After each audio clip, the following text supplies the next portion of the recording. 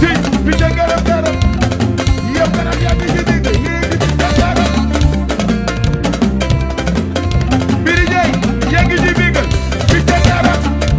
they got to be kind of hard to cheat. What's my favorite?